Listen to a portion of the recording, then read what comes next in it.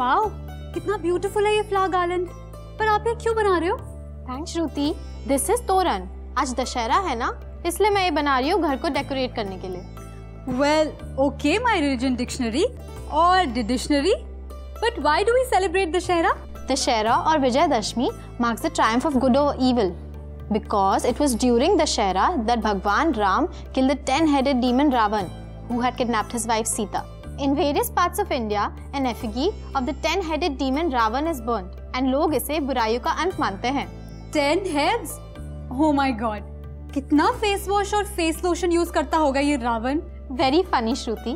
The ten heads signify the ten evils lust, anger, greed, attraction, overpride, jealousy, selfishness, injustice, cruelty and ego. इसलिए तो कहते हैं मन से जो रावण को निकाले राम उसी के मन में है।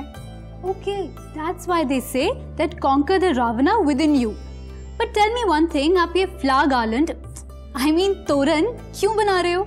Dussehra is also set to be the entry of god in our life इसलिए हम ये तोरण घर के दरवाजे पे या ऑफ़िस के दरवाजे पे लगाते हैं। कई लोग इसे कंप्यूटर पे कार पे और मशीनों पे भी लगाते हैं। That does sound very interesting and you know what this bindi suits you perfectly I mean, in today's time, it's a rare sight to see women wearing bindi, right? I agree, but bindi is just not to look pretty. It has so many health benefits. The point between our eyebrows is known as the Ajna Chakra. It also signifies the position of the third eye. So, the bindi helps us to stay calm, sinuses, headaches ko dur bhaga deta hai. Also, helps you tone your facial muscles.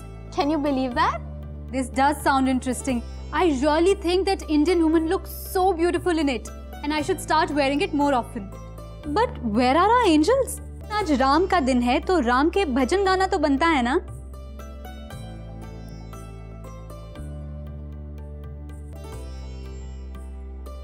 आयो जी, मैं